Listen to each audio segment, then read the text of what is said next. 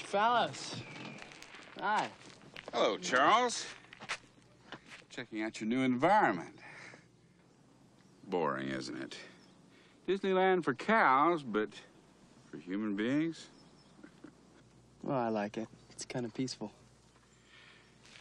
Reminds you of Ohio, I suppose. Yeah, well, you know. No, actually, I don't, Charles. I don't know. And you don't either. There is no Paradise Falls in Ohio. Your transcripts are also fakes. Clever fakes, but fakes. Anything to say? You're mistaken. Oh, no, I'm not. But you are, Charles. If you think you can wiggle out of this. I don't know who you are, but I know you're not who you say you are. If this is blackmail, Mr. Fallows, I think you picked the wrong guy. This car is the only expensive thing I've gotten, and I'm kind of sentimental about it. I don't think I can sell it. Dibble, I'm through with you.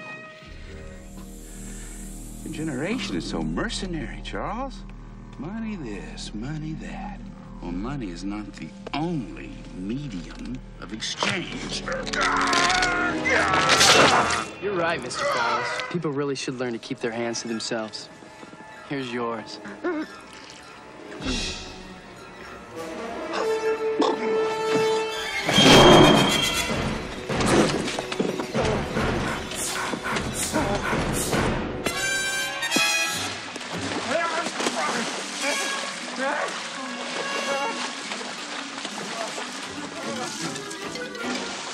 I'm sorry.